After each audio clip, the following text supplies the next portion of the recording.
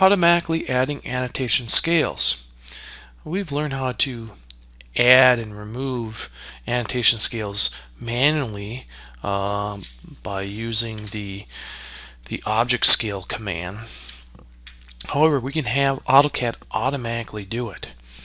And right now, if I take a look at some of these, uh, I can go in here and say, well, you know, my annotative scale is currently at 1 to 2, and I have a 1 to 1.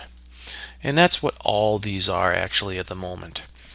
Now, if I come down to my annotative scale over here, um, you can see there's a button right here that is automatically add scales to annotative objects when the annotation scale changes.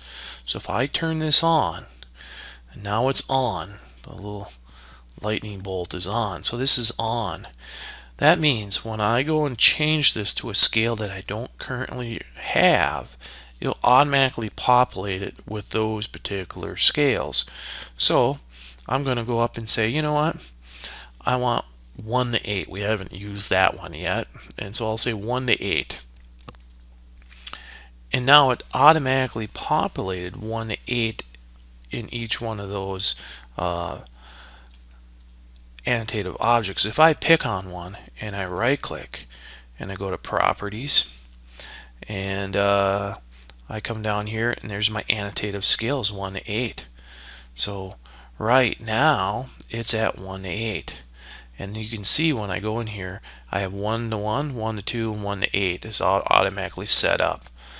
So when I come back in here I can go back to my 1 to 1 now and go back into my uh, layout tab, select on my, uh, and I can go back to one to one, and I'm all set up at one to one.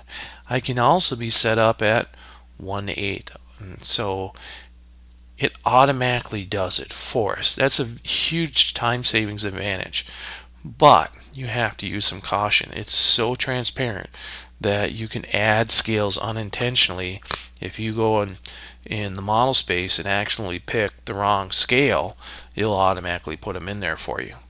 Which isn't the end of the world because you can always take them out. But this is a huge time saver and so we can add automatically add annotative scales by coming down here and making sure this is turned on.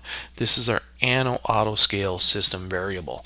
So whenever that's on, that'll automatically populate our annotative scales in the annotative objects in our drawing for that particular scale that you that you set to here in your annotative scale.